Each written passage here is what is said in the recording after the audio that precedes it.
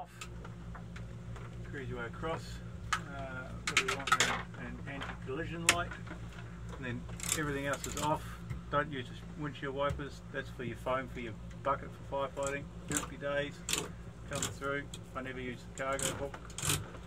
Those are just all your dome lights. They're off. That's going to be power. They're off. Battery on. Everything else is good. And you come down here. Hydraulics turned on. Force trim is on. Just blocks that basically. Okay. And then just really make sure we got all our lights. They're good. Reset that. Uh, don't need that yet. Don't need that yet. We need fuel. That's start fuel. Pumps one and two, and it won't show on pressure because we need uh, more power than that basically to, to be able to show it. Yep. So then we're good to there. So then we just roll the throttle wide open all the way back and then click that solenoid and just go back through the other side of the gate for a bit. Oh.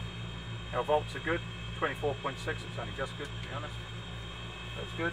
So then we hit the button. Cloud lights! Big draw.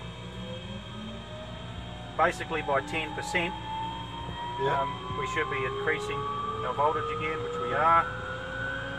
Happy days. Blades are starting to turn. You can see smoke, we're burning. So we're just monitoring. We'll turn the start fuel off just after 20.